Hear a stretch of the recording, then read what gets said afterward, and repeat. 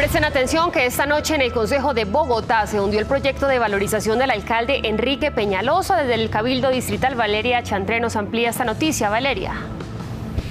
Buenas noches, pues en la Comisión de Hacienda del Consejo de Bogotá se cayó este proyecto de valorización con el que la administración pretendía recaudar cerca de 1.3 billones de pesos para realizar distintas obras en la capital del país. El proyecto ni siquiera fue votado por los concejales de la comisión, sino que el presidente aseguró, terminó la sesión y aseguró que todavía existen muchas inquietudes e inconformidades alrededor de esta propuesta. Esta fue la primera reacción del secretario de Gobierno Miguel Uribe tras esta noticia.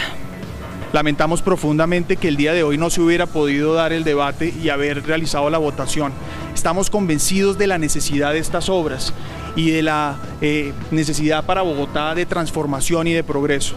En ese orden de ideas, por instrucción del alcalde eh, y aceptando buena parte de las dudas y de las inquietudes que hubiéramos aceptado para este debate, volveremos a presentar el proyecto Recordemos que este proyecto contemplaba realizar obras en cuatro zonas específicas de la capital del país, entre las cuales estaban localidades como Usaquén, Chapinero y Fontibón, e iba a tocar los bolsillos de cerca de 416 mil bogotanos de los estratos 4, 5 y 6. Esa información desde el Consejo de Bogotá, Valeria Chantré, Noticias Caracol.